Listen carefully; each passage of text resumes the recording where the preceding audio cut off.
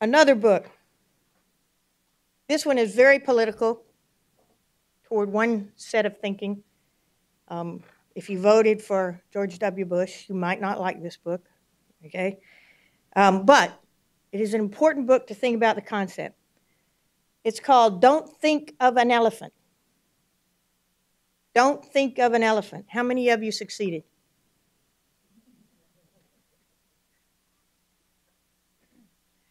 The point of this book is when the other side of an issue get to frame the issue, we have no choice and we lose our power. Okay?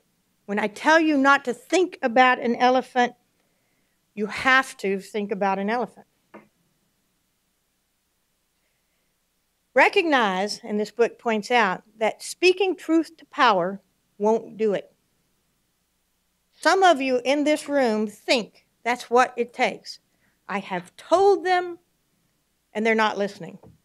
This is the point of this. That's not sufficient. We have told them these programs work. We have told them here's the problem. We have told them here's why we should do this, and it's not working. So, as was mentioned yesterday, stop it. Those strategies aren't going to do it.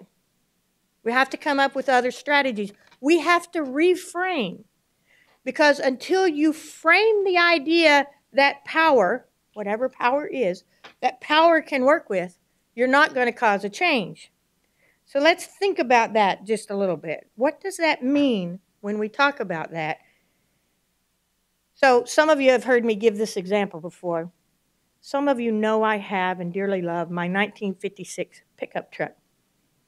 You don't have to be from Texas to have a pickup truck, but it helps. Okay. It's beautiful. It's plum. In, in College Station, they think it's maroon. It's not. It's plum. Okay? That's one of the original colors of a 1956 pickup truck. Has no rust. Probably ran, runs as good as it did in 1960. Okay? It is a great truck. Now, if you come and tell me that's an old truck, get rid of it. Not only am I not going to, I am offended. This is my baby. This is my truck. And I love it, as only a Texan would love their pickup truck. Okay? So don't tell me it's old, it's out of date. And if you frame the problem as Here's some of the issues with your truck. It's not very fuel efficient, is it? I don't go very far in it. I don't care. So every time you try to point out to me what's wrong with my truck, I'm just more and more offended by you who don't understand how hard I have worked to have this truck, to keep it running, to keep it beautiful. It's my truck.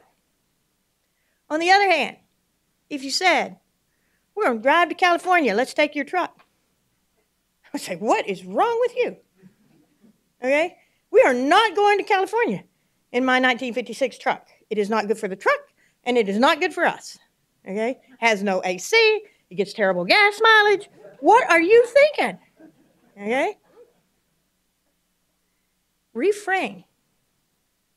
If it hasn't been working, then instead of thinking that they are idiots, understand that we have framed the issue wrong.